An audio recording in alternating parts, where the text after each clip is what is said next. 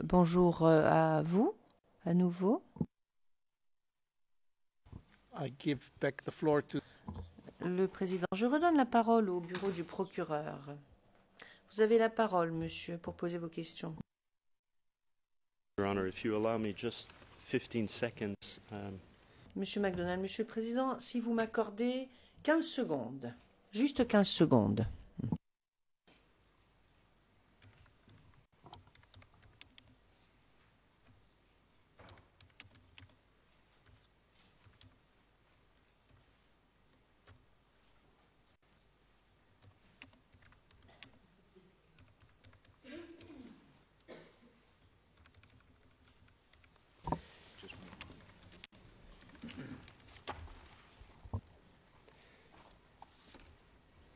Monsieur Mangou, pour revenir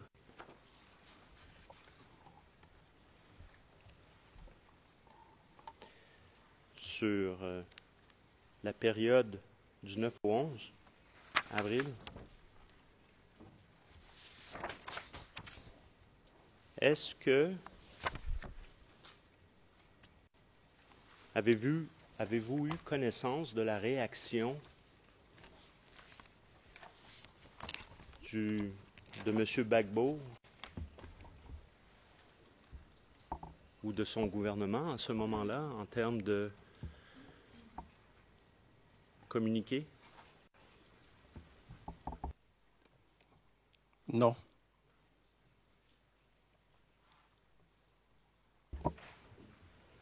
Est-ce que vous-même avez suivi les événements à la télé entre le 9 et le 11? Je ne parle pas de l'arrestation de M. Bagbo, mais antérieurement à la réaction ou quelques commentaires de M. Bagbo. Non. À part bien sûr euh, l'interview.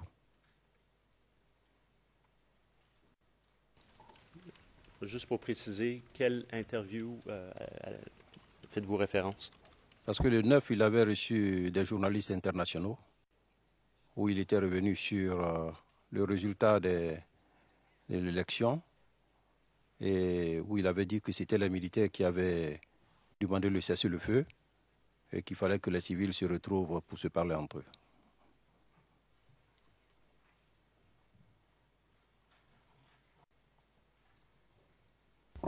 Et ça, vous avez entendu cela donc? Oui.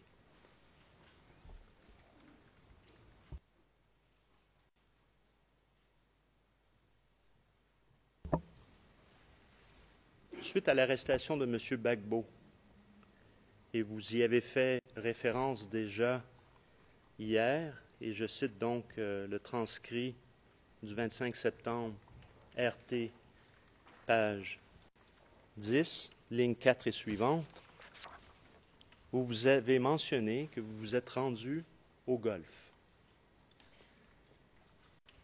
Alors, comment Expliquez-nous un petit peu, qu'est-ce qui vous amène au golf? Est-ce que c'est vous-même qui vous rendez là? Est-ce que vous avez été convoqué? Expliquez-nous les circonstances, s'il vous plaît. Donc, euh, suite à l'arrestation de M. Gbagbo, très choqué par cette arrestation, la première chose que j'ai faite, c'est d'appeler le Premier ministre Soro pour lui demander de faire en sorte que le président ne soit pas tué. Et le Premier ministre m'a dit qu'il n'y a pas de problème, que ce sont les instructions du président de la République.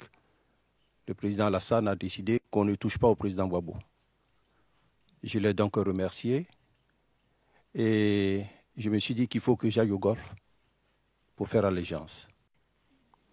Donc, euh, j'ai pris contact avec euh, le général Berena pour dire que je souhaitais me rendre au golf. Mais avant de partir, j'ai appelé le Premier ministre à Finguessan pour lui dire, Monsieur le Premier ministre, je vous rends compte que je vais au golf pour faire allégeance. Il m'a dit non, non, non, ne partez pas, ne partez pas, il faut qu'on se serve de l'armée pour négocier. J'ai dit non, je vais faire allégeance. Et c'est comme ça que je me suis rendu au golf. Là également, dans les transcrits que j'ai lu avant de venir, c'était marqué la date du 13, mais ce n'était pas le 13, c'est le 12 avril, le lendemain, que je suis allé faire allégeance au Golfe. Donc, toujours les transcrits de votre déclaration? De ma déclaration. Et euh, étiez-vous seul? Est-ce qu'il y avait d'autres généraux qui, se sont, qui vous ont accompagné, qui se trouvent sur place? Alors, ici, le général Diebi, dans son témoignage, a dit que c'était le général Mangou qui a convoqué les officiers à sa résidence à Abobo. Ce qui est faux. Je ne suis jamais à Abobo. ma résidence n'est pas à Abobo, c'est faux. Moi, je sais que le général Berena m'a donné rendez-vous à ma résidence euh, officielle à Cocody. Et c'est de là qu'un véhicule blindé de l'ONUCI est venu me chercher. Chaque officier est parti ses propres moyens. On n'est pas parti regroupé. Chaque officier est parti par ses propres moyens. Donc on a dû attendre, euh, moi je suis arrivé aux environs de 9h, 9h30. On a dû attendre que tout le monde soit là pour commencer la cérémonie.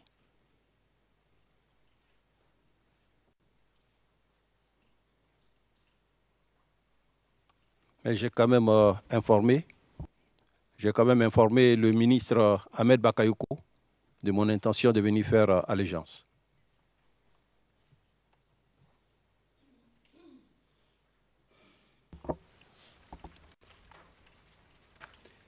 Est-ce qu'il y a eu retransmission de cette, oui. de cette allégeance? Oui, cette cérémonie a cérémonie été... de, de, de prêter allégeance? Oui, elle a été retransmise.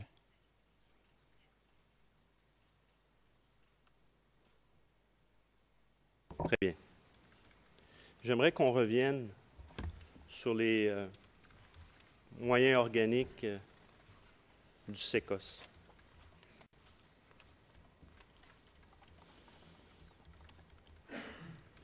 Non, écoutez, avant de se faire, on va poursuivre avec le mois d'avril. On reviendra.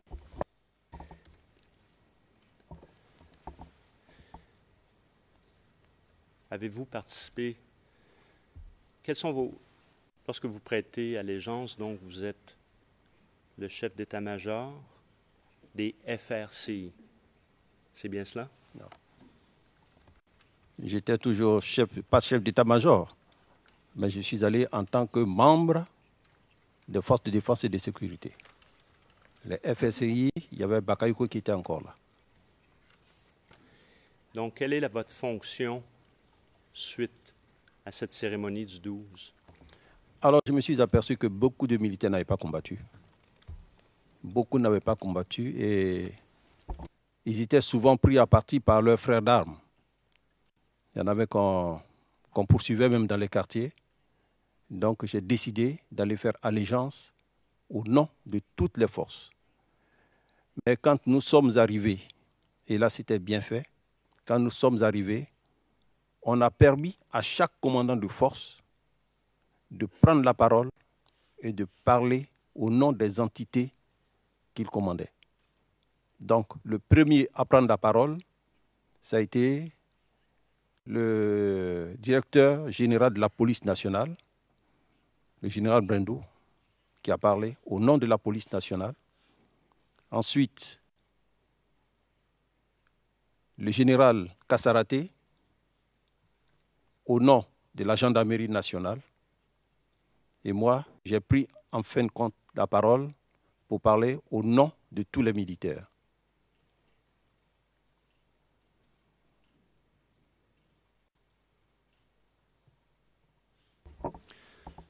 Par la suite, à quel, comment étiez-vous impliqué dans les jours, semaines qui suivent? Que faites-vous? À l'issue donc euh, de la cérémonie d'allégeance, le président Alassane Ouattara m'a reçu dans une chambre faisant office de, bureau, puisqu'il était au Golfe, en compagnie du ministre Amontano.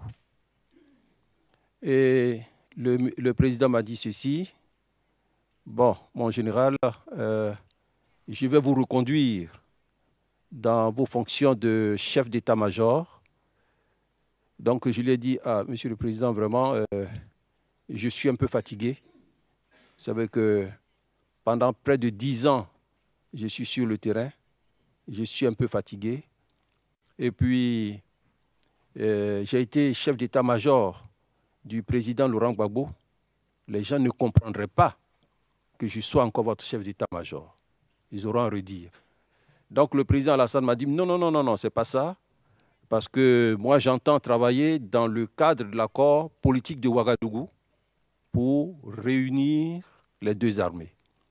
Donc vous allez assumer le commandement pendant un temps et le moment venu, nous allons vous remplacer. Donc euh, j'ai accepté ce que m'a dit le président. Je me suis mis au garde à vous, je l'ai salué et je suis ressorti. Juste une petite question pour tenter de, régler cette, euh, cette création des FRCI. Alors, je comprends que tout à l'heure, dans votre témoignage précédemment, vous faites référence au FAFN. Quand est-ce qu'il y a eu mutation à votre connaissance de, des FAFN et qui a l'acronyme donc FRCI, Force républicaine de Côte d'Ivoire. Est-ce que vous vous rappelez de la date qu'il y a création donc des FRCI? Alors, au départ, nos frères qui étaient venus nous attaquer, quand on les désignait, c'était sous le vocable de forces rebelles. Eux-mêmes, eux-mêmes, c'était les forces armées des forces nouvelles, FAFEN. Dans le cadre de l'accord politique de Ouagadougou, qui a été signé le 4 mars 2007, les forces républicaines de Côte d'Ivoire, les FAFEN, ont fait leur mutation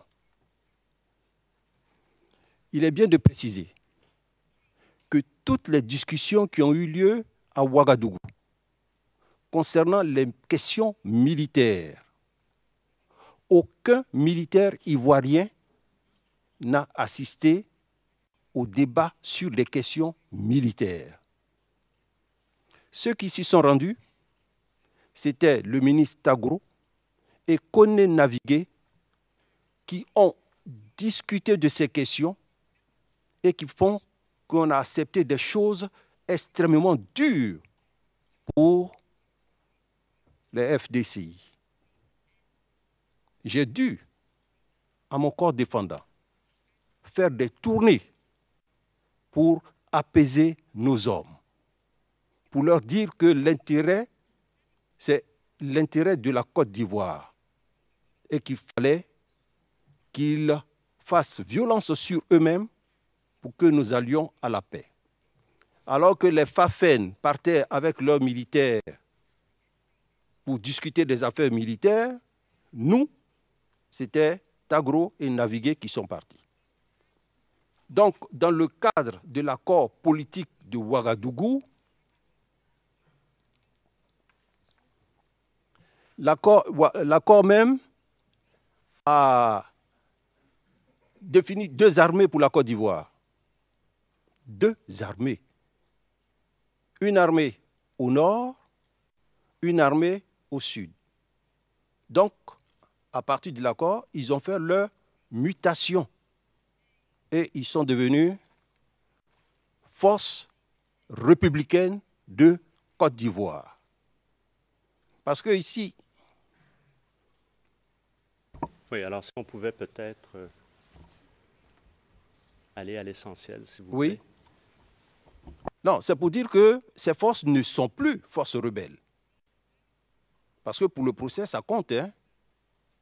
Elles sont devenues une force républicaine de Côte d'Ivoire. Elles ne sont plus forces rebelles. Parce que quelle est cette armée rebelle dans le monde qui, un, émarge au budget de l'État? Deux, lors des tournées du président de la République, présente une troupe en présence du drapeau de l'État.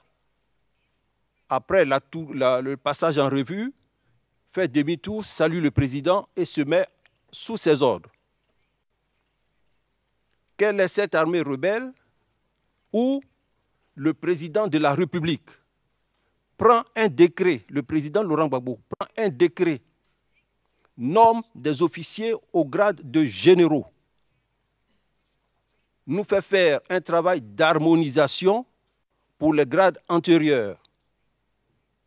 Quelle est cette armée où nous-mêmes, nous avons envoyé des gens pour faire des visites médicales, le recrutement. Donc ce n'est pas une armée rebelle, c'est une armée au même titre que les FDCI. Et ça, il faut bien le comprendre. Pour la suite du débat, parce que quand on va parler de non, mais ce sont les rebelles qui ont chassé le président Babo, ce n'est pas vrai. C'est la deuxième armée de Côte d'Ivoire qui l'a chassé, qui n'est pas contente et qui l'a chassé, ce n'est pas des rebelles ce n'est pas de rebelles. De même, quand on dira, mais ceux qui sont au Golfe, qu'est-ce qu'ils sont allés faire? Mais c'est l'armée, on a reçu des missions de sécurisation sur toute l'étendue du territoire. Donc ceux qui sont au Golfe, c'est des Ivoiriens, des personnalités ivoiriennes, et ces gens sont allés les sécuriser. Donc il faut bien qu'on comprenne. Il faut bien qu'on comprenne. C'est eux qui sont allés discuter à Ouaga et qui nous, nous ont ramené sa décision difficile d'application pour nos hommes, mais Dieu merci. Je voudrais féliciter nos hommes ici. Eux, ils l'ont compris. Ils l'ont compris. Parce que quand j'ai fait mes tournées, mes hommes me disent, mais donc mon général, il vaut mieux d'être rebelle, d'aller contre son pays que d'être loyal. Ça, ils me posaient la question. Je leur ai dit non, ne voyez pas les choses comme ça. Ce que nous voulons, c'est la paix pour notre pays c'est la paix pour notre pays.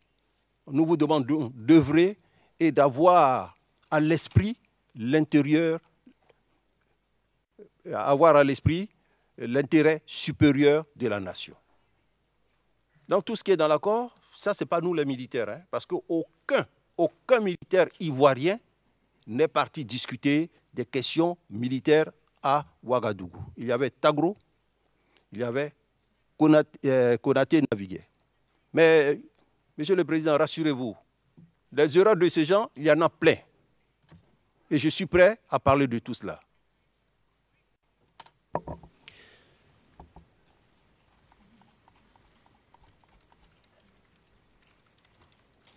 Donc, euh, c'est ce que j'allais vous demander de clarifier. Lorsque vous faites référence à Ouagadougou, il y a un nom, c'est bien Konaté Navigué.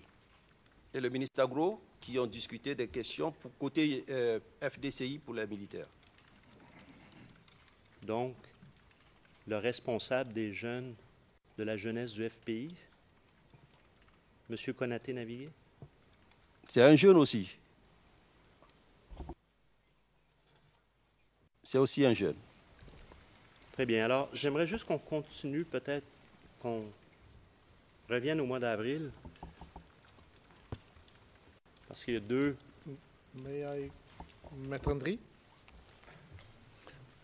Je voudrais rassurer mon confrère, ce n'est pas une objection.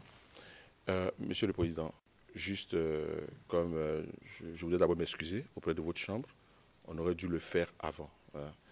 nous souhaiterons avoir deux minutes, pas plus, à la fin de cette session pour nous adresser à votre Chambre en dehors du témoin. Juste deux minutes. Pas, ce ne sera pas long.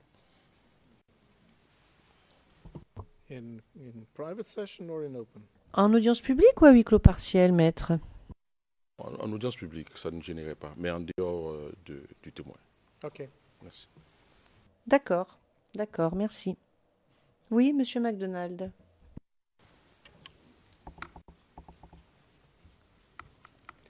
Avez-vous participé au mois d'avril à la démobilisation?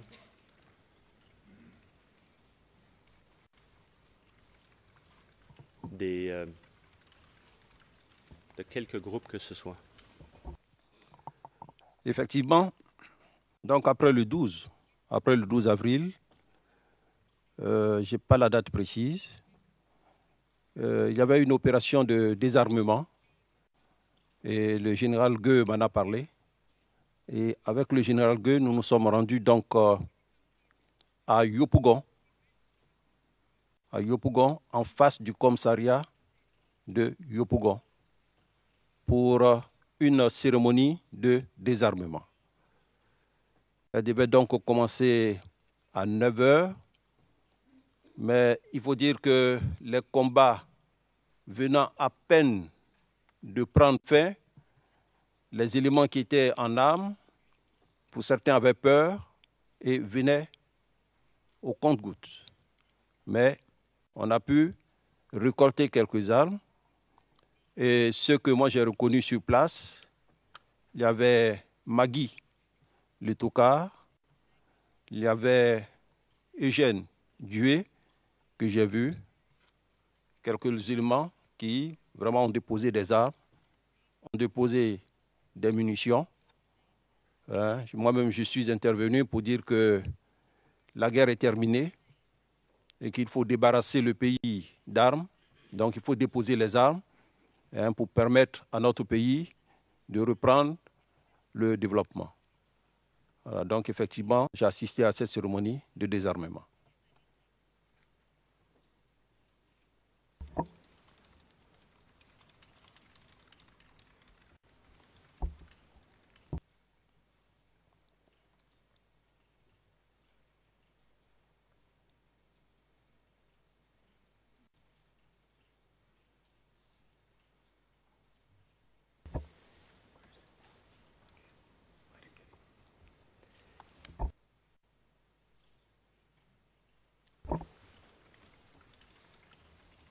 J'aimerais appeler l'élément de preuve vidéo CIV OTP 0047 0650. Il s'agit d'un autre vidéo, Madame euh, le greffier, qu'on va vous demander de... Ça va être de la minute, donc du début,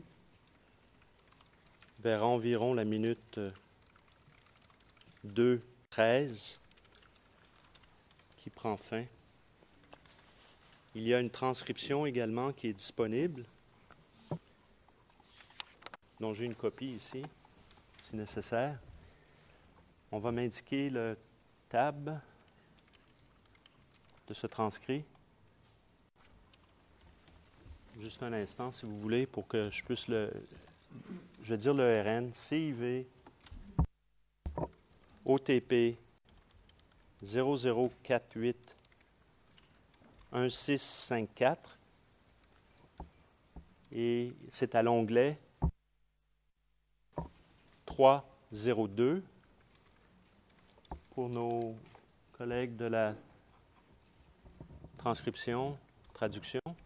Sinon, on en a une copie papier.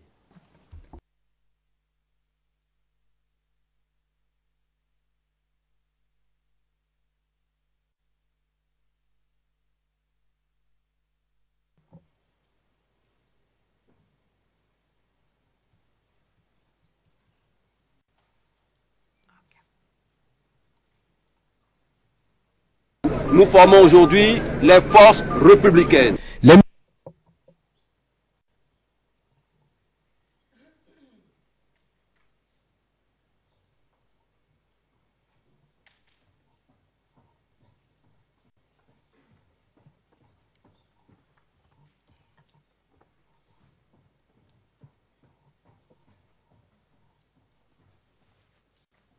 Pacification du district d'Abidjan. L'appel du Premier ministre invitant les miliciens à déposer les armes a été entendu.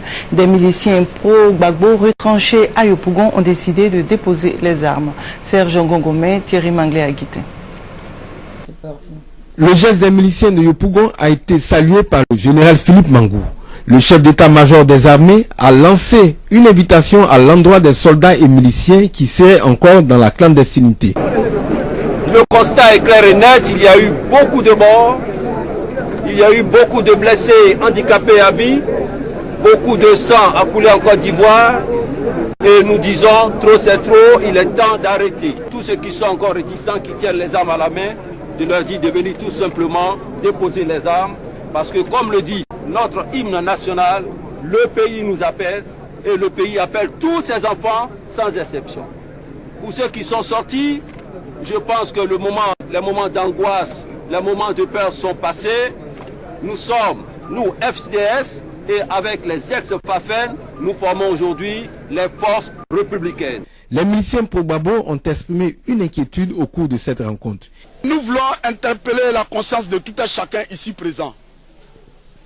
Pour dire, il y a des gens qui ont pris les armes hier, qui se sont battus. À Yopougon, à découvert. Ils se disent, quand ils déposent aujourd'hui les armes, ils sont en danger. La réponse déjà donnée par le président de la République est reprise ici par le commandant Ouattao. Tout sauf ça, il n'y aura pas de représailles. Nous avons décidé d'aller à la paix, nous allons à la paix. Sauf ceux qui veulent être, euh, se faire des caïds. Donc quand tu veux te faire des caïds, un caïd, nous on te mate, c'est normal. Mais celui qui n'a pas décidé d'être un caïd, euh, ben, nous ne sommes pas prêts à te mater. Donc euh, nos frères sont prêts à venir. Nous, allons, nous les accueillons à bras ouverts et nous leur rassurons qu'il n'y aura pas de contre eux. Cette cérémonie de désarmement à Yopougon est le résultat de plusieurs rencontres entre Eugène Dué, représentant des miliciens, et le commandant Shérif Ousmane des forces républicaines de Côte d'Ivoire.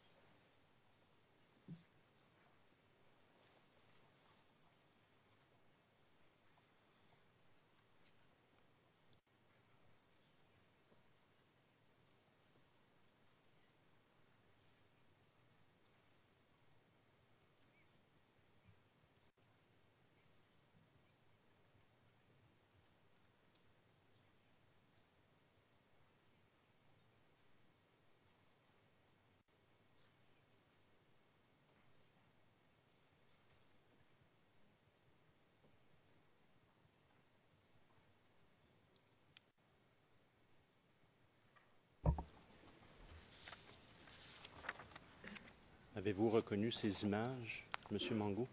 Oui. Est-ce la cérémonie dont vous, à laquelle vous faisiez référence? C'est bien ça. Connaissiez-vous, pour l'avoir déjà vu ou rencontré, peu importe, Guy Berti, qui a Non. été présenté? Non.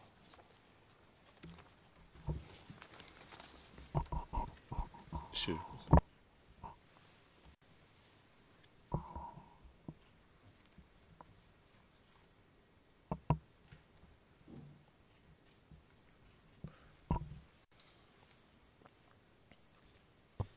Maître André?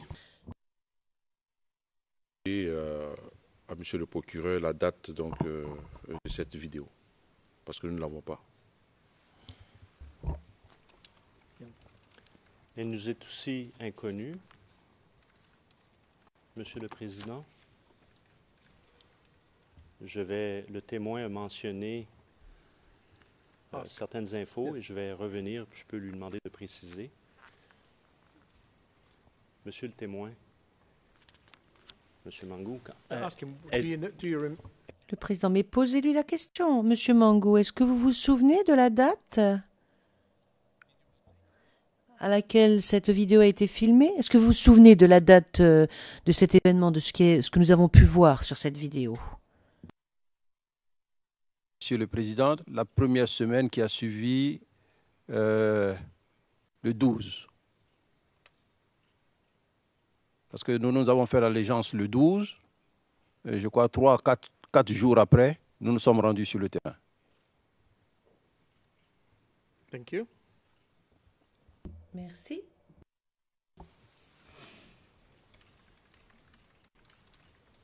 Est-ce qu'il y avait encore des combats à Yopougon à, cette, euh, à ce moment-là? Alors, il y avait quand même euh, pas de combat, mais quelques tirs sporadiques, Euh, surtout du côté de, de Lokoduro. On entendait encore quelques tirs sporadiques.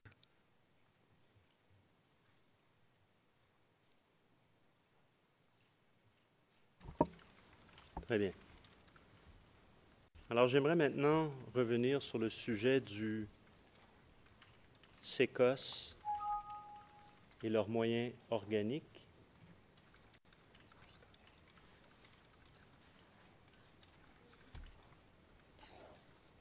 Et je vais me référer à ce que vous avez dit précédemment dans votre témoignage, donc hier, 25 septembre, RT, page 20, ligne 8 à 13.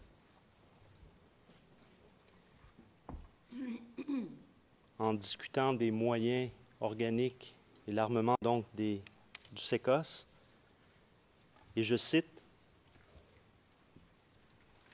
Et au fil des missions,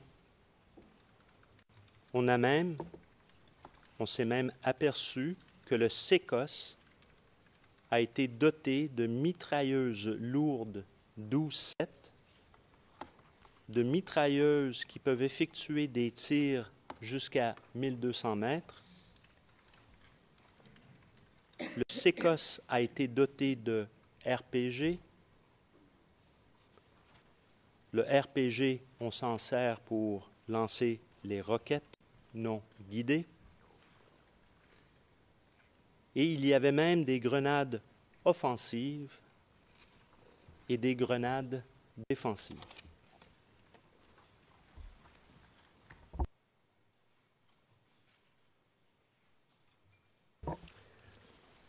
Êtes-vous capable de nous expliquer ou de nous situer à votre connaissance quand le SECOS a- aurait-il reçu ce type d'armement? Je ne pourrais pas vous dire avec précision quand le SECOS a reçu, mais ce que je peux vous dire, c'est que la proposition de la création du SECOS m'avait été confiée et le président m'a dit c'est une unité de lutte contre le grand banditisme. Donc, fort de cette information, l'armement que nous, nous avons mis dans le test que nous devions présenter au président, c'était des PA et à la rigueur des Kalash, puisque c'était pour lutter contre le grand banditisme.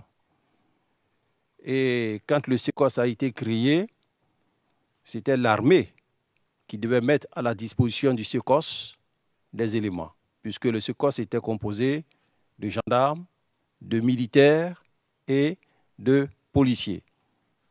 Au départ, le SECOS travaillait conformément à sa mission reçue, faisait le maillage de la ville d'Abidjan, mais au fur et à mesure qu'on avançait dans le temps, le SECOS ne jouait plus son rôle, le rôle qui était le sien, et on l'a vu progressivement dans la réglementation de la circulation à Bassam, on l'a vu sur l'autoroute, en piétant même souvent dans les domaines de la police et de la gendarmerie. Et au fur et à mesure qu'on avançait dans le temps, on a vu que le SECOS avait des 12-7, avait des RPG et même avait de- des grenades.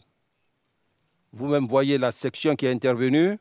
Le BMO, c'est la brigade de maintien de l'ordre. Or là, ce n'est pas une mission du SECOS. Or, ces armes dont dispose le SECOS, ce sont véritablement des armes de guerre. Quand vous prenez le RPG, le RPG, c'est pour la destruction des engins blindés. On ne lutte pas contre le grand banditisme avec le RPG. Quand vous prenez La 12-7, la 12-7, c'est une mitrailleuse lourde qui peut effectuer des tirs jusqu'à une distance de 1200 mètres. Quand vous prenez les deux grenades offensives et défensives, il y a une différence à ce niveau. La grenade offensive, elle est constituée euh, de poudre d'explosion. Quand vous la balancez à l'extérieur, l'effet qu'elle produit sur le personnel est moindre parce que vous avez des bras coupés, vous pouvez avoir une jambe coupée et cette grenade est généralement utilisée dans les assauts. Quand vous prenez la grenade défensive, elle, est constituée de coques métalliques, ce qui fait qu'à la fragmentation, quand vous prenez une coque métallique dans le corps, c'est mortel. Donc cette grenade, elle est plus dangereuse que la grenade offensive. Et généralement, cette grenade est utilisée pour stopper la progression de l'ennemi. Donc au vu de ces grenades, ça ne va pas, au vu de ces armements, ça ne va pas de pair avec la mission du SECOS.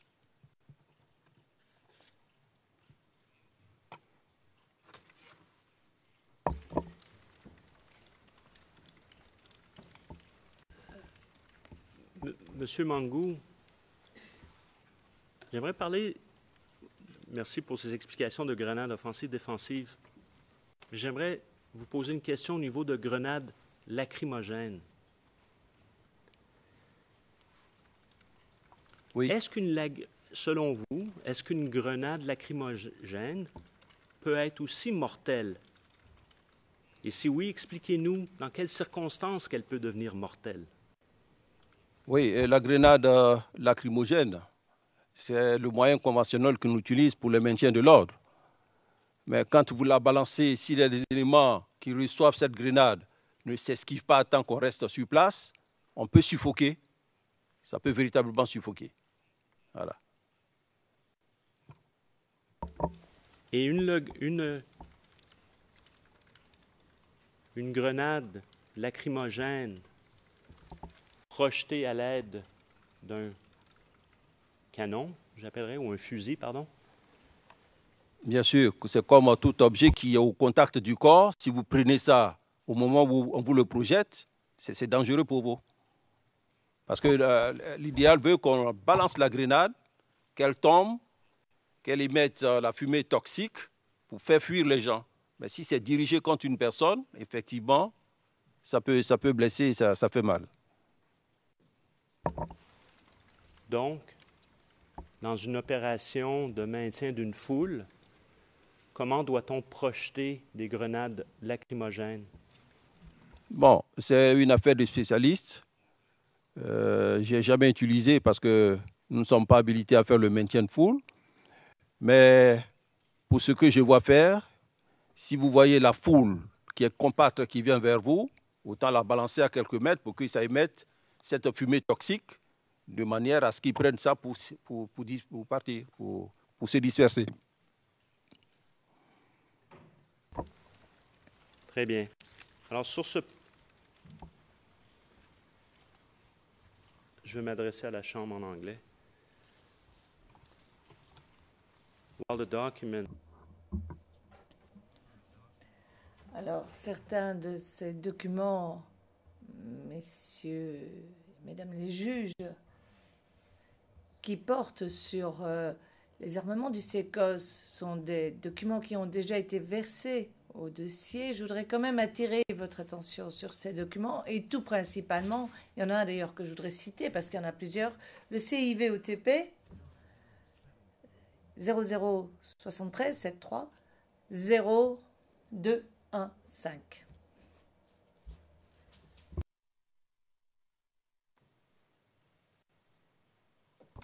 You wanted to be shown up? Le juge président. Et vous voulez qu'on affiche ce document? Monsieur McDonald. Non, je voulais simplement rappeler à la Chambre que ce document a déjà été versé. Je ne vais pas le montrer maintenant, mais attirer votre attention sur ce document.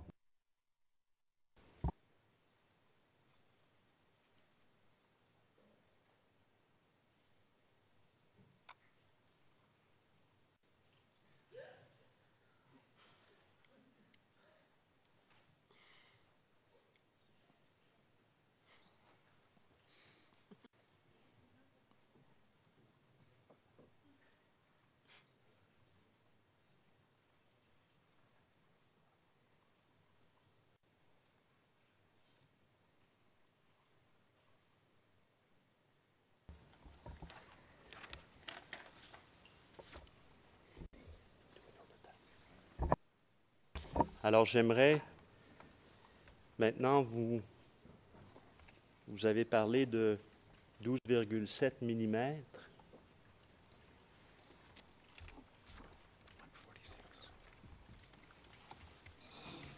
Alors j'aimerais appeler la pièce et qu'elle soit montrée aux témoins publics CIV OTP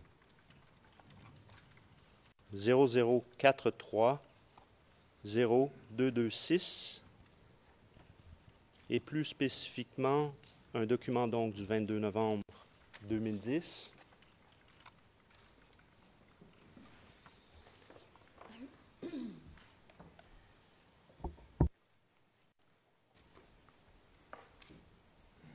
Alors il s'agit, comme on peut tous le voir, d'une demande du général Guy Point au lieutenant-colonel, commandant de premier bataillon d'infanterie d'Aquedo. Donc, pour premièrement, avez-vous déjà vu ce document? Non, c'est la première fois que je le vois. Alors, pourriez-vous confirmer s'il y avait effectivement un champ de tir à Aquedo et pourquoi est-ce que le SECOS devrait aller à Aquedo pour utiliser une 12-7 à votre connaissance? Je suis moi-même euh, surpris par Monsieur une le telle Président. demande. Monsieur le Président. Maître André, Monsieur le Président, nous soulevons une objection. Le témoin dit n'avoir jamais vu ce document. On pourrait tout au plus s'arrêter sur le point de savoir s'il y a un champ de tir à Kwedo. Ça, il n'y a pas de problème. Mais à demander au témoin pourquoi est-ce que, selon lui, le SECOS avait besoin d'utiliser ce champ de tir, on demande au témoin d'opiner. Nous soulevons une objection euh, pour ce point. Je vais reformuler. Je vais reformuler, Monsieur le Président. please do so. En effet, faites euh, ainsi, Monsieur MacDonald. Je peux retirer le document, de toute façon. Le témoin vient de le voir, là, mais y avait-il un champ de tir à Aquedo? Alors, quand euh, moi j'y étais, il y avait un champ de tir. Mais on ne pouvait effectuer les tirs que jusqu'à 200 mètres. 200 mètres, on a même fait souvent tirer à la mitrailleuse des engins, mais en remontant un peu plus loin. Maintenant, avec euh, la poussée de la ville d'Abidjan, le champ de tir de d'Aquedo a disparu. Parce que les habitations ont pris la place. Et souvent, pour aller tirer, on allait à Lomo Nord pour effectuer les tirs. À Lomo Nord, dans la région de Tumodi.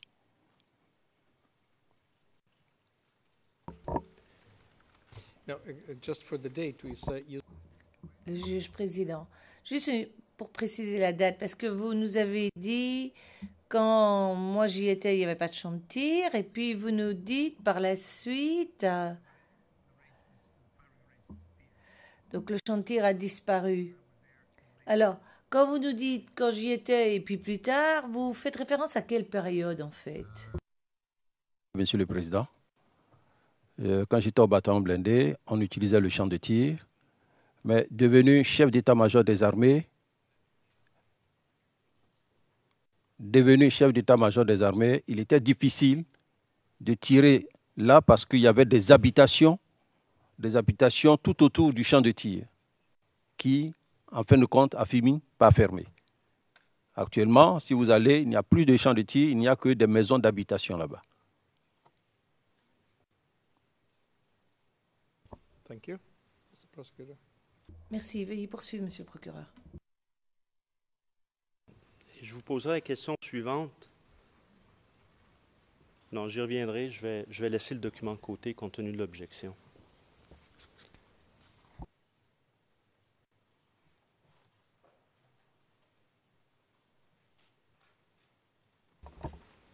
Parlons maintenant des documents de... J'aimerais revenir, pardon, sur euh, certains documents et plus spécifiquement la garde républicaine.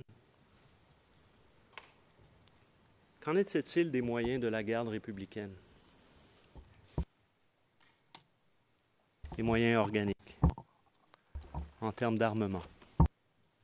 Donc là, au niveau de la garde républicaine, ils avaient des PA, pistolets mitrailleurs, des Uzi, des Uzi, ce sont des armes israéliennes, mais de petit calibre. Ils avaient des Kalash,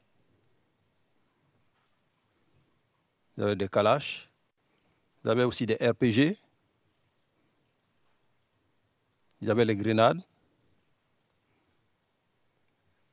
Au niveau des engins, ils avaient des engins blindés.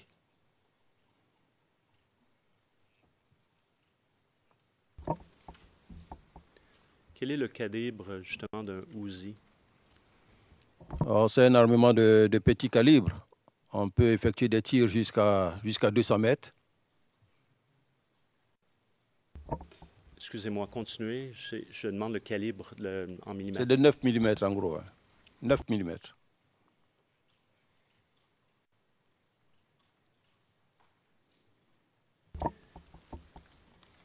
Par rapport au reste des forces de défense et de sécurité, si on compare, comment était l'armement ou les quantités de l'armement de la garde républicaine? Et par rapport aux autres forces, la quantité doit être moindre, mais euh, j'avoue, j'avoue que la garde républicaine a quand même euh, euh, suffisamment de munitions par rapport aux autres corps. Voilà. Mais je suis jamais, suis jamais entré dans la soute à munitions, mais je sais qu'ils en ont. Voilà. La soute en munitions de la garde républicaine.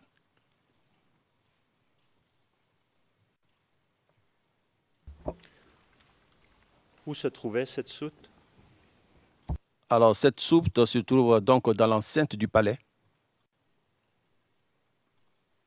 Dans l'enceinte du palais, côté nord-ouest du palais. À quel étage? Non, c'est une euh, soute enterrée. Une soute enterrée.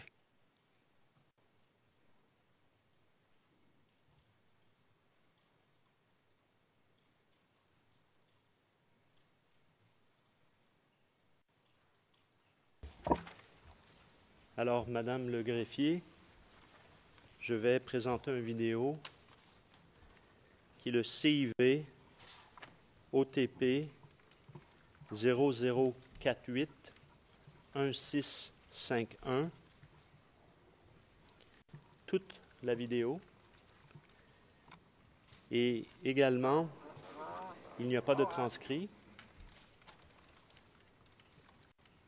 Et je vais vous demander de jouer toute la vidéo et après, quelques secondes avant la fin, on va revenir sur des images précises, ce que j'appellerais des still images. Voilà. Merci. Je vous demanderai de regarder. C'est le numéro 301 sur notre liste.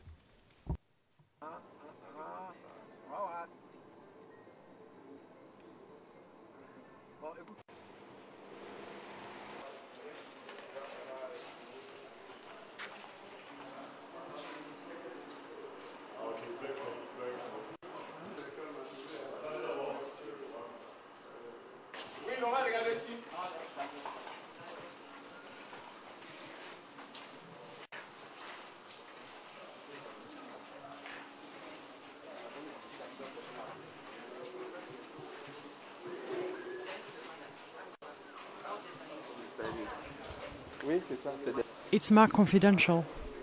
The video is marked confidential. La greffière de nuance. La vidéo est confidentielle. It's public. It's already submitted on record.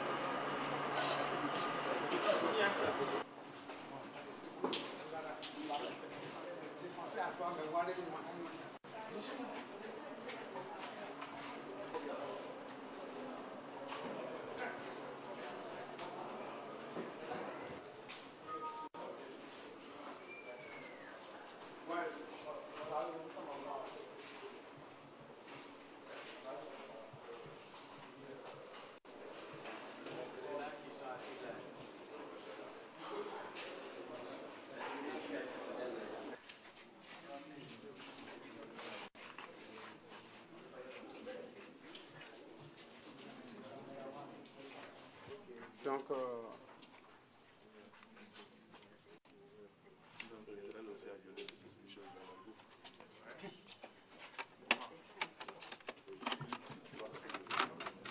c'est la munition de 5,56.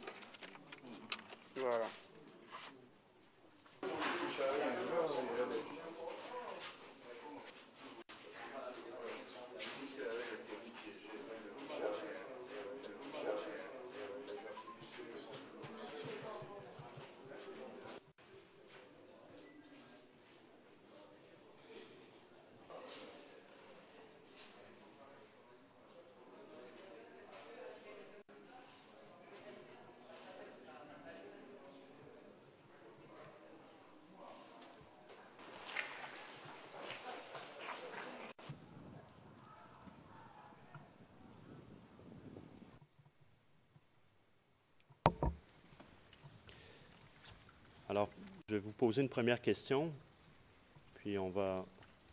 Je demande à, la, Mme le greffier de revenir sur le 4 par 4 qu'on voit à la toute fin, si on pouvait arrêter sur cette image. Premièrement, avez-vous déjà vu cette vidéo?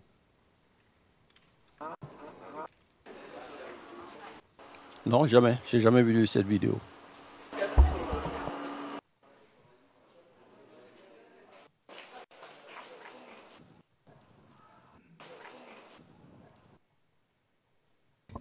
This location? Le juge président, est-ce que vous avez déjà vu l'endroit que l'on voit dans cette vidéo? J'ai déjà vu l'endroit. Est-ce que c'est bien la soute à laquelle vous faisiez référence? Non, ce n'est pas cette soute. J'ai été commandant en seconde de la garde républicaine. Je connais bien le sous-sol.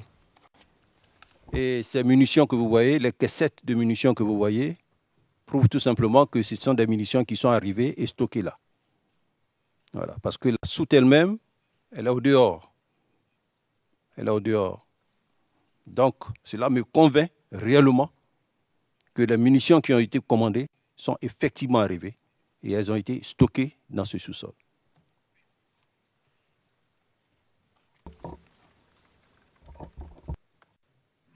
Excuse me, but when you say now, Le juge président, quand vous me dites euh, je suis convaincu maintenant, qu'est-ce que vous voulez dire par maintenant? Maintenant, c'est aujourd'hui, après avoir vu cette projection, ou maintenant il y a un petit temps?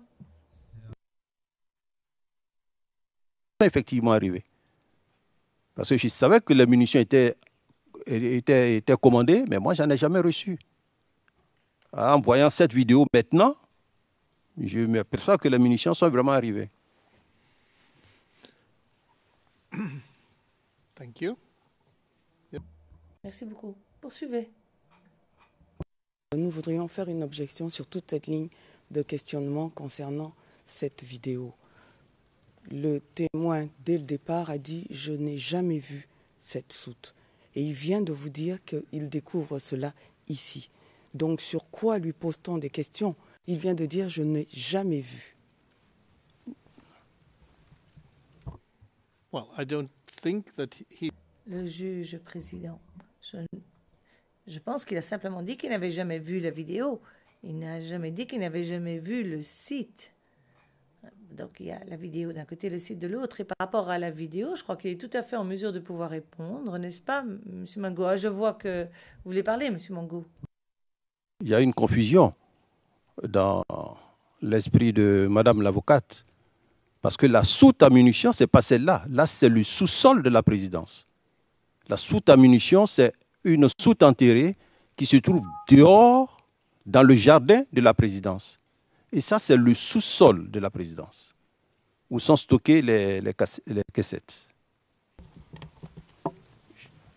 Justement, Monsieur le Président, on lui pose la question en employant le terme soute. C'est de ça qu'il est question.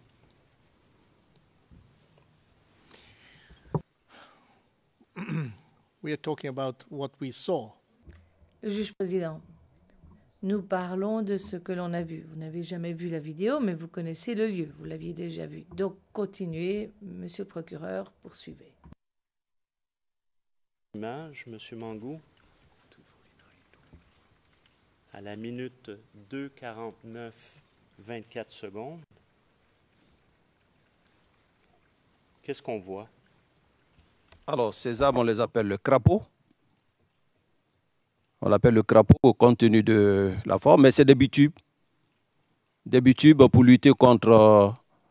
Euh, des bitubes du DCA pour lutter contre l'avion. Donc, on effectue des tirs, euh, des tirs antiaériens avec. Donc, sol-air. Sol-air. Et je vais maintenant demander à ce qu'on projette quelques secondes ou quelques fractions de secondes plus loin, où on va voir un 4 par 4. Stop. Parfait. Alors, il s'agit de la seconde, de la minute, pardon, 2, 53, 6 secondes, dont on vient de faire une capture d'écran. Quelle sorte de véhicule, s'il vous plaît, et d'armement? Alors, ça, c'est un Velera surmonté de canons de vin. Et ces armes, la garde républicaine n'en a pas. Ce sont les armes qui sont au niveau du BASA, bataillon d'artillerie solaire.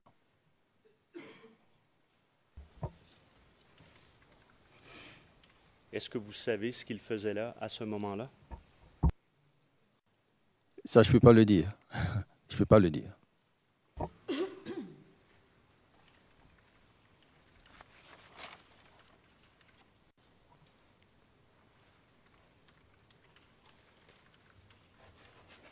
Très bien.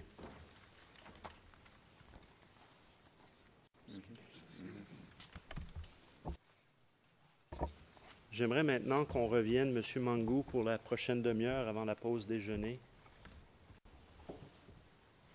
qu'on traite euh, des différentes phases des opérations durant la crise post-électorale.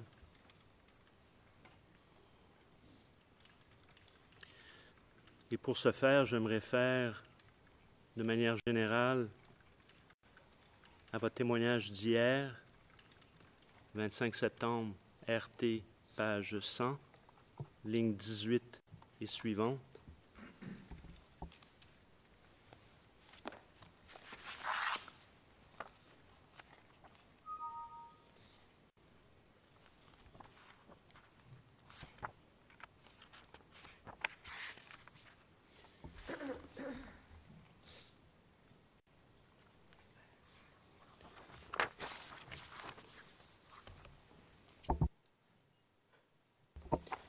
Et même plus tôt ce matin, vous avez fait référence à des, euh, des offensives.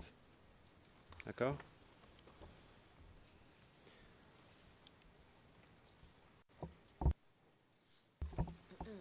Entre le 28 novembre 2011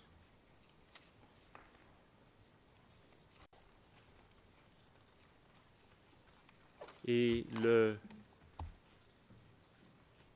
18 janvier, alors, pardon, 28 novembre 2010 au 18 janvier 2011 environ.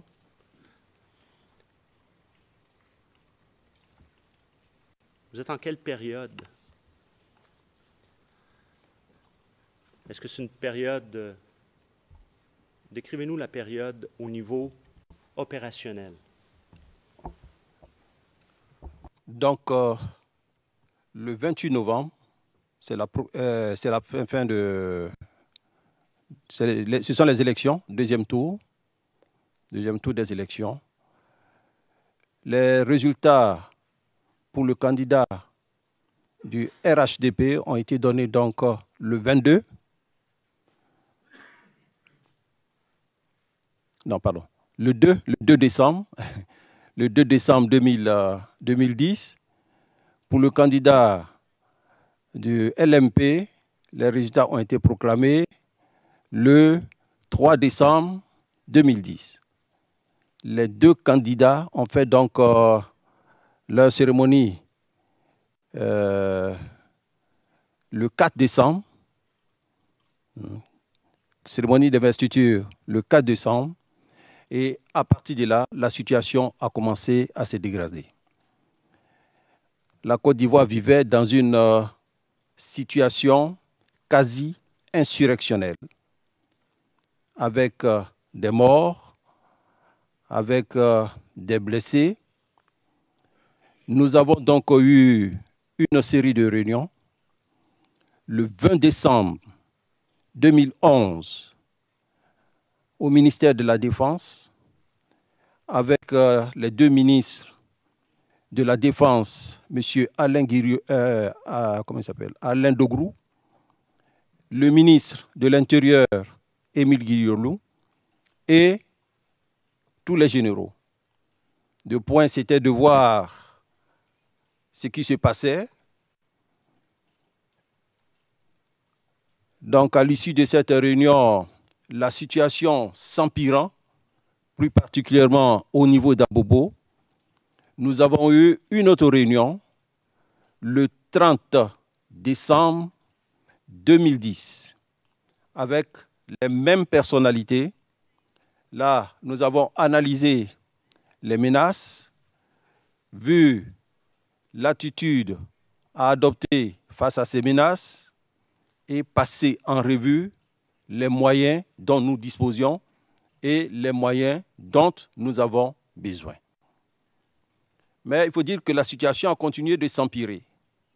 C'est ainsi que le 5 janvier, le 5 janvier 2011, nous nous sommes retrouvés à la résidence du président Laurent Gbagbo aux environs de 21h30 où je lui ai rendu compte de la situation générale qui prévalait au niveau d'Abidjan et plus particulièrement au niveau d'Abobo. Avec bien sûr les problèmes que nous avions en ce qui concerne les moyens et autres. Donc à l'issue de cette réunion, c'est à l'issue de cette réunion qu'un décret de réquisition des forces nous a été remis. Donc ce décret demandait donc aux forces d'intervenir dans tout Abidjan. Lorsque nous avons reçu ce décret, nous nous sommes retrouvés donc le 6 janvier 2011, qui doit être, je crois, un vendredi, à l'état-major pour voir comment est-ce que nous allons nous organiser pour déployer les éléments sur le terrain. Et c'est à cette réunion que le directeur général de la police nous a dit que ce qui se passe à Bobo est de sa compétence et que c'est une opération de maintien de l'ordre. Nous lui avons dit OK, donc on va vous laisser faire. Mais néanmoins, puisque nous étions requis, j'ai demandé au colonel Sakou, qui est le chef du CPCO, de me désigner des éléments qui allaient intervenir dans Abidjan.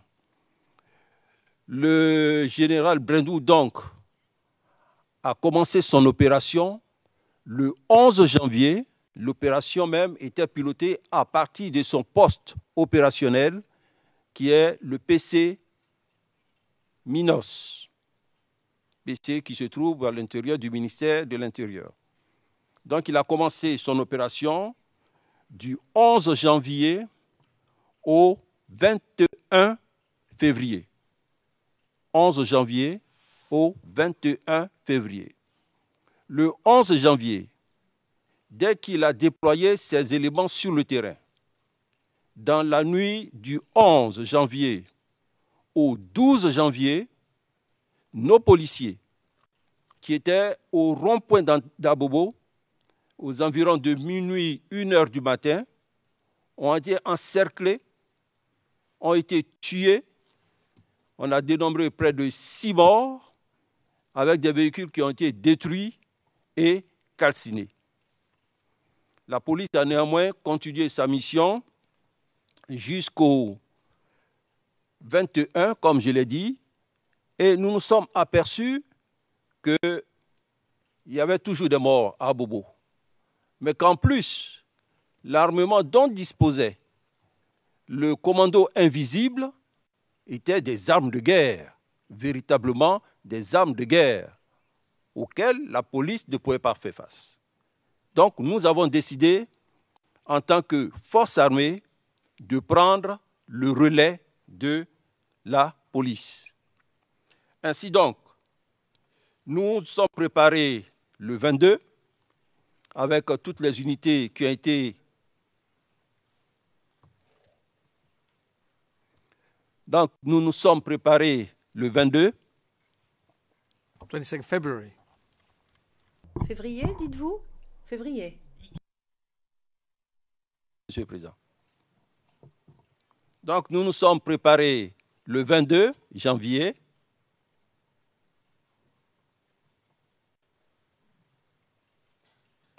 Non, le 22 février, je crois. C'était du 11, la police a commencé du 11 au 21 février. C'est bien ça, Monsieur le Président. C'est le 22. Donc, nous sommes préparés le 22 et le 23 février, nous avons commencé notre offensive sur le PK-18 et à Indautré. Il y a deux éléments qui sont partis pour mener cette offensive. Je ne sais pas si je peux les donner. Donc, voici le dispositif, Monsieur le Président, qui a été mis en place dans tout Abidjan. Je vais commencer par Yopougon. À Yopougon, on avait au premier pont de Yopougon une section du 3e bataillon d'infanterie. À Sipores, une section de la police. À la Maca, deux engins Élan. Ce sont des engins sud-africains armés de mitrailleuses de 7,52. Capacité d'emport, 12 personnes, 12 personnes, ça fait 24. Une section du 1er bataillon d'infanterie. Une section du BCP, bataillon de commando parachutiste. Une section du génie. Deux mortiers de 60. Un équipage du SECOS sur engin avec une 12-7. L'unité qui était en réserve d'intervention dans cette zone, c'est un peloton de la gendarmerie du Toit Rouge de Yopougon. L'ensemble des éléments au niveau de Yopougon étaient placés sous la responsabilité du chef d'escadron Koukounion. Au niveau d'Adjamé Plateau, au premier pont de la casse, on avait un peloton de la gendarmerie à la cité Fermont, un peloton de la gendarmerie. au GSPM, une section de la police. À Boribana, vers Atekoupé, à hauteur du siège de l'ONU ici. Une section du premier bataillon de commandement et de soutien, BCS. Au niveau de la RAN, une section de la garde républicaine. L'ensemble de ces éléments placés sous la responsabilité du lieutenant-colonel Maudit de la garde républicaine. L'unité en réserve d'intervention, c'est l'unité, un peloton de la garde républicaine. Au niveau de Cocody, au niveau de Cocody, on avait au carrefour de la Riviera 3 un peloton du premier bataillon blindé. Mais ce n'est pas les engins, ce sont les hommes. Au niveau du carrefour de la vie, on avait une section du premier bataillon d'infanterie. À Petrosi, on avait une section mixte, police, gendarmerie au jardin de la Riviera. Euh, oui, jardin de la Riviera sur le côté, sur la route. Les élèves de l'école de gendarmerie. Au niveau de Saint-Jean, une section de la police. Au niveau de la RTI, on avait donc une section du premier BCP, un peloton de la gendarmerie, appuyé par un peloton blindé du premier bataillon blindé et un bitube du Baza. Au niveau du Golfe, on avait donc un peloton blindé, un bitube du Baza, deux mortiers 60 et une 12-7 du Secos. Ce sont les mêmes éléments qui étaient au Golfe, côté Imputo, constitution identique, côté Marie-Thérèse ou Fouette-Boigny. Maintenant, au rond-point d'Abobo, d'Abobo, au rond-point d'Abobo. Là, on avait un élément de l'escadron blindé de gendarmerie, du GEB,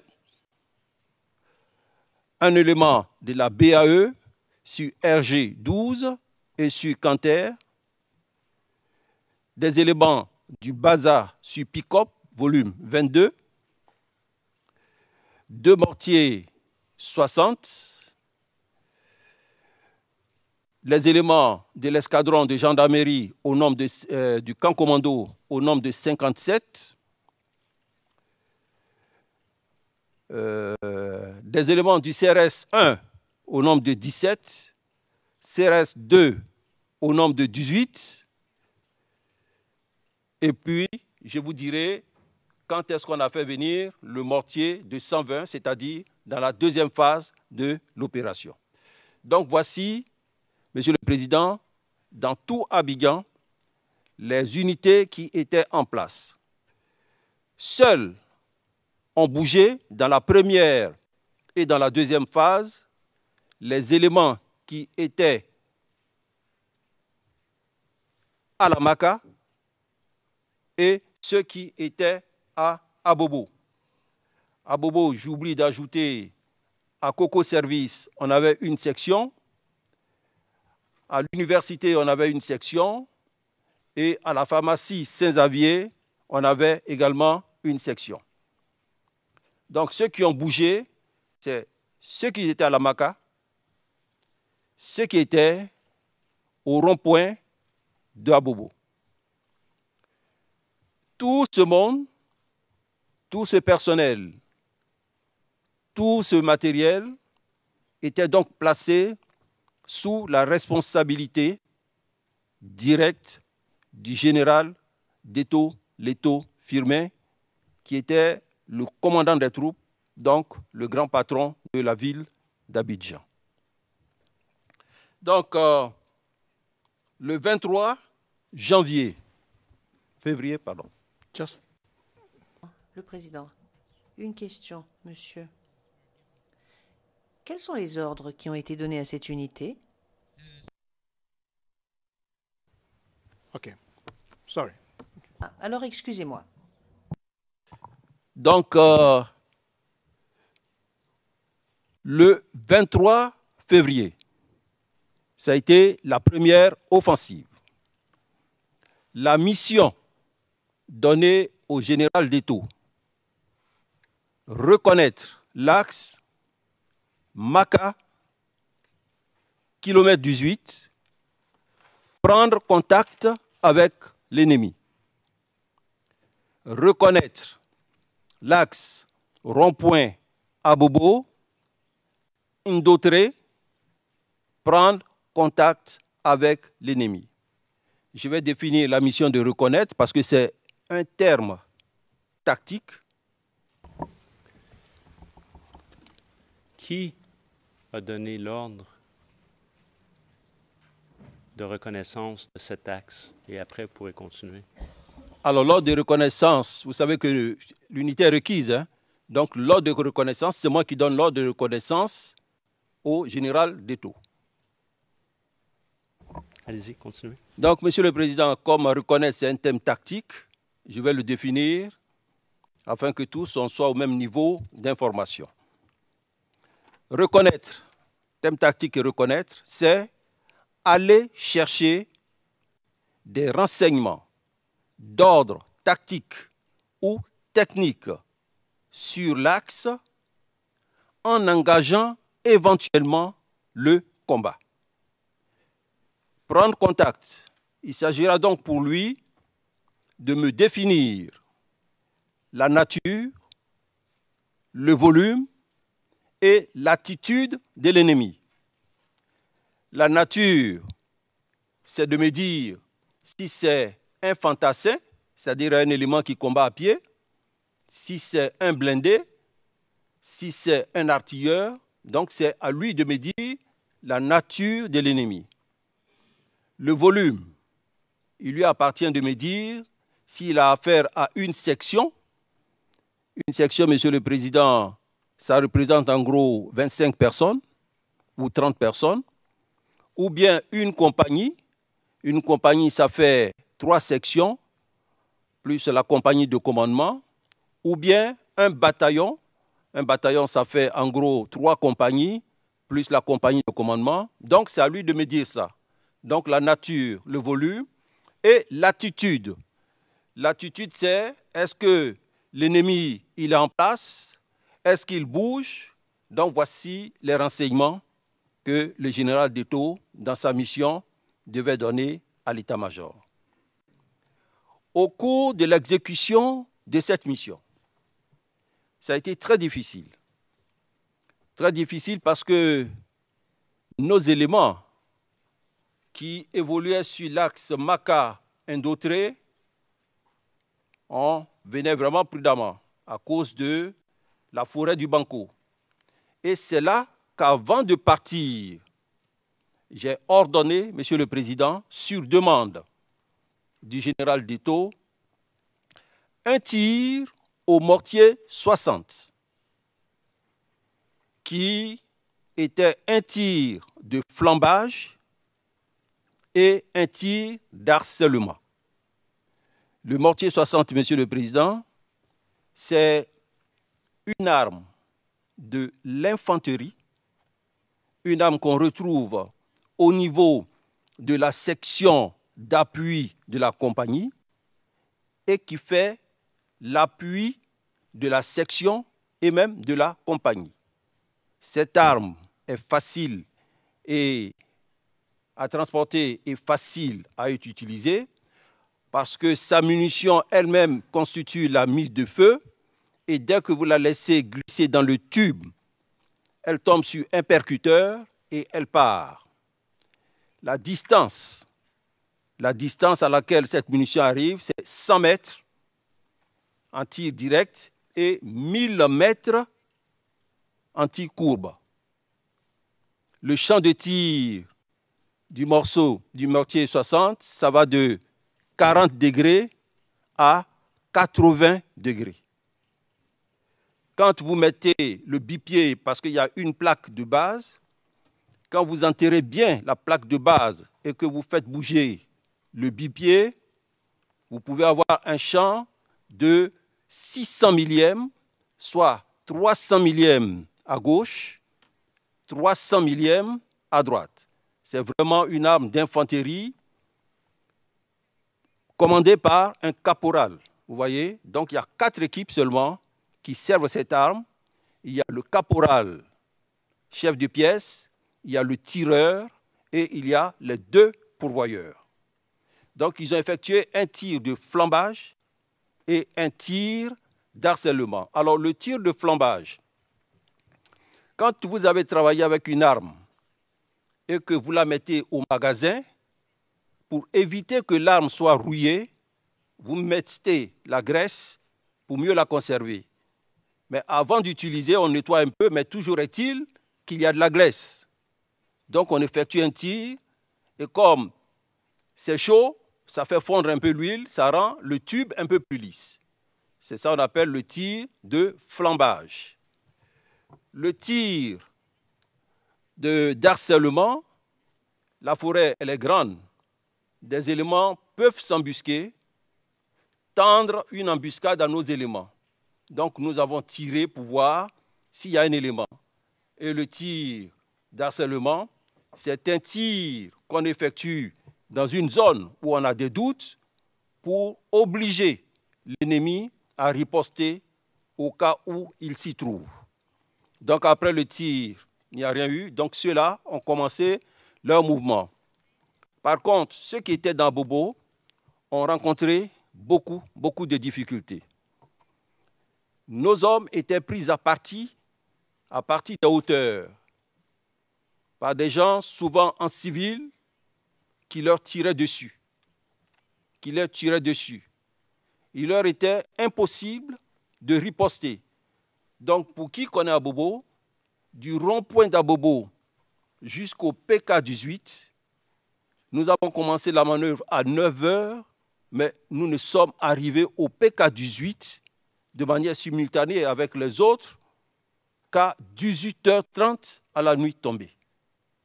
Et arrivé vers le PK18, il était impossible à nos hommes de répliquer parce que le commando invisible qui était en place avait pratiquement pris en otage la population, on tirait sur eux et, les, gens se fondaient dans la population. Le commando invisible agissait contrairement à la Convention de Vienne sur le droit de la guerre, parce qu'ils étaient en tenue civile, donc il était difficile de distinguer le combattant du, de la population. Donc face à cette difficulté, il nous était impossible de riposter aux tirs ennemis. Quand Deto m'a fait ce compte rendu, j'ai tout simplement, parce qu'on ne peut pas tirer et s'en prendre à la population, j'ai demandé donc aux éléments contenus de la nuit qui était tombée de replier. Donc ceux qui sont partis au PK 18 ont replié jusqu'au rond-point d'Abobo. Ceux qui sont partis à Indautré sont repartis à la Maca. Je l'ai fait ainsi parce que dans la manœuvre, normalement, quand vous avez atteint un point, vous restez là pour pouvoir reprendre la manœuvre le lendemain, parce que là, vous avez déjà gagné du terrain. Mais j'ai fait replier mes éléments à cause de cette expérience que nous avons eue de ce qui est arrivé à nos frères policiers. De nuit, ils ont été encerclés et on est venu, on les a tués. Donc pour éviter que mes hommes soient encerclés et tués, je leur ai donné l'ordre de revenir sur leur position initiale.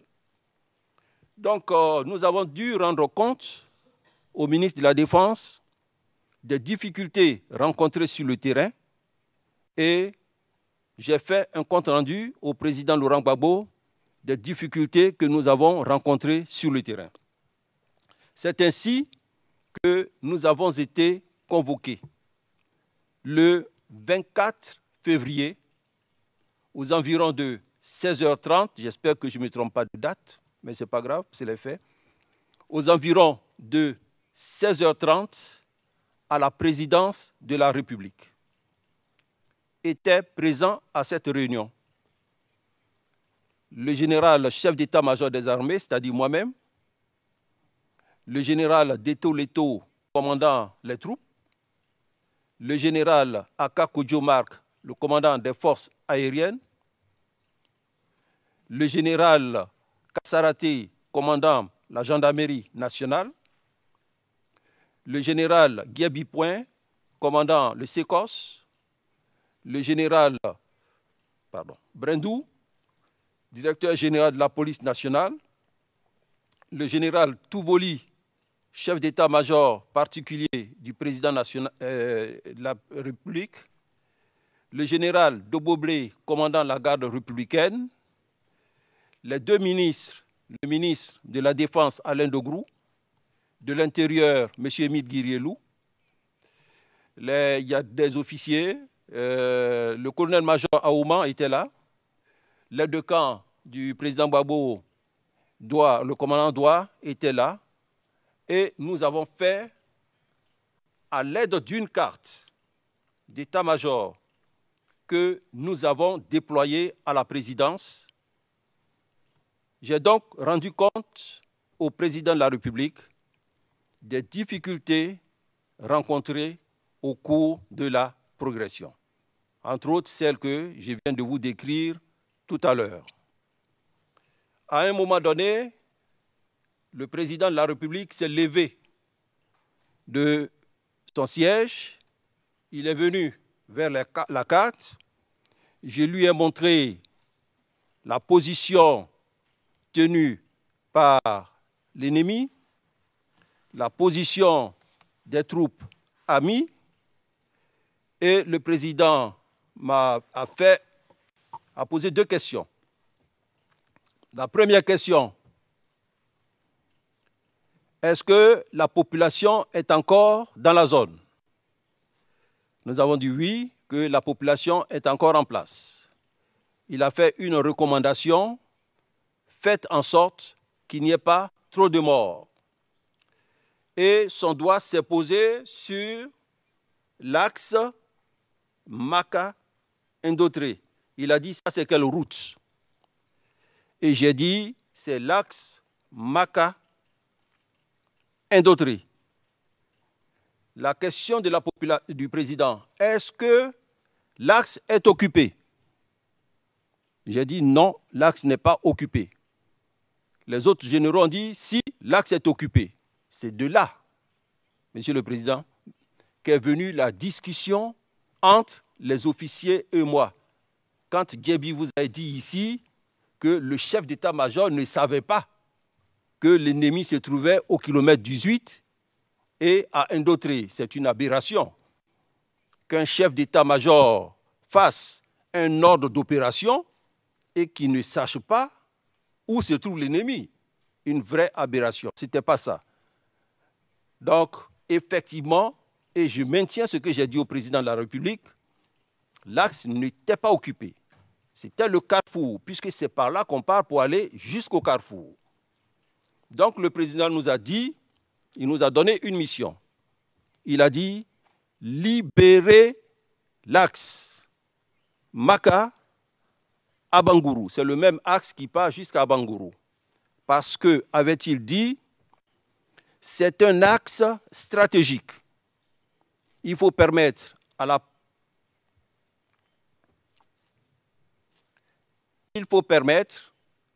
la population du Sud de remonter vers l'Est et à la population de l'Est de venir aussi à Abidjan.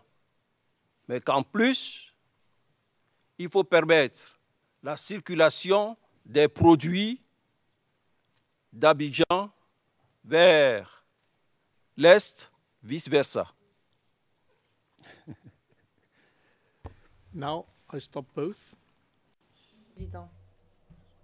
Nous allons nous arrêter parce que nous allons faire la pause déjeuner. Nous reviendrons à 14h30.